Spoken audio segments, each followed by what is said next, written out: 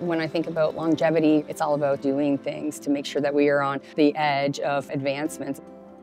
I'm second generation owner and operator, and for the last 35 years, we've been making preforms.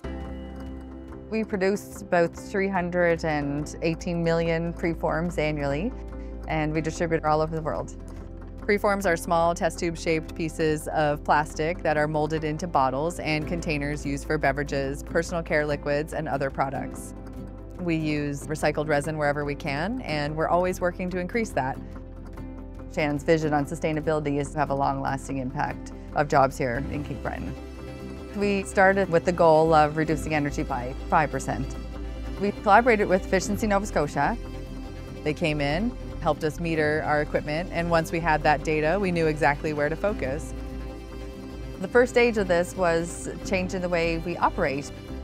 We focused on two key things. We were running equipment in standby.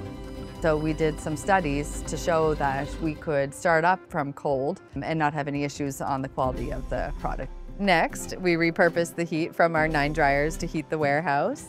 Change in the way we operate resulted in 12% energy savings. The next step is moving towards a centralized chilling system. 35% of our energy consumption is from the chillers. The equipment is arriving, we're getting everything in place. Through that process, it's another 13% reduction in energy. That investment, in combination with a change in the way that we operate, we reduced our overall energy consumption by 25%. It's huge in terms of reinvesting back into the business, not just the equipment, but also reinvest into our people. At the start, nobody really understood why we wanted to focus on energy. It's been a complete culture shift. With Efficiency Nova Scotia's support, we were able to move a lot faster and try tools that we didn't know were available to us. All this investment is being able to set that stage for growth. For every manufacturing job, it creates an additional three to four jobs within the community. We're making Cape Breton a better place to live by contributing to economic sustainability.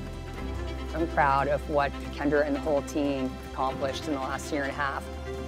And there's more we can do. Yes, that's, that's the thing. thing. There's yeah. so much more.